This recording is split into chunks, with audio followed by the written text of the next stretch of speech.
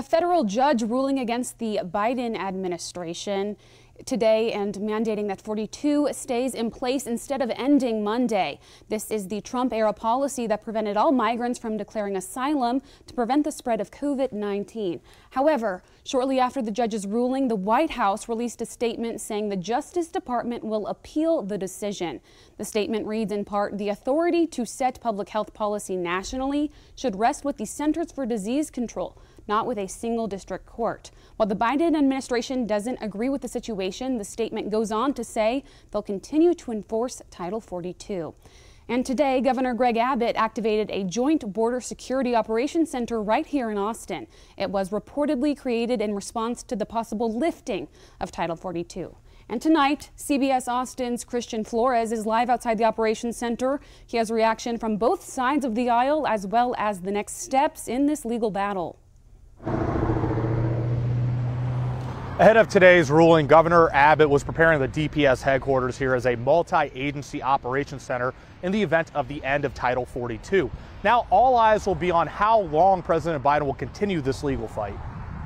We're glad that the judge ruled this way. Republicans are rejoicing after a federal judge issued a preliminary injunction to stop President Joe Biden from lifting Title 42, which would have ended Monday. This is the policy put in place by President Donald Trump that denied all migrants from seeking asylum, immediately expelling them using the spread of COVID 19 as the reason. A Trump appointed judge said that we could not have masks on airplanes, COVID protections on airplanes.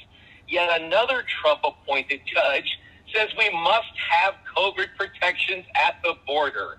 It doesn't make any sense. What would your response be to uh, opponents of this ruling who say, hey, this is hypocritical that you have a, a Trump appointed judge who wants to end mass mandates on planes, but they want to keep up COVID 19 restrictions at the border. The judge saw that there could be some serious harm inflicted immediately were Title 42 to be lifted.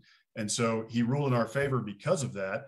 Uh, because it was implemented as a COVID policy. During the Biden administration, there have been more than 3 million encounters at the border, Border officials say there have been 8,000 border encounters per day, but believe that could skyrocket to 18,000 a day if Title 42 went away. Right now, our Border Patrol is overwhelmed. You hear that over and over again from Border Patrol agents, from uh, border town mayors, even on the Democrat side, who have been calling for the Biden administration to not end Title 42 uh, because they see what's coming. You're going to hear Republicans say that there's going to be uh, you know, a big influx at the border, overwhelming border communities, and you even have some border Democrats raising some concerns about the lifting of Title 42. How do you respond to that? There's an easier solution to all this, and it's for us to have humanitarian infrastructure at the border. Questions have arisen on when Title 42 will be lifted after Friday's ruling. It could be months or even years. Now, the Biden administration could appeal or uh, ask to stay the injunction, which almost certainly the Fifth Circuit would deny. The case could go to the Supreme Court. But given the fact the midterm elections are coming up in November and President Biden has polled poorly when it comes to immigration, immigration lawyer Kate Lincoln Goldfinch says she does not expect Biden to continue the fight in court. The Biden administration could appeal.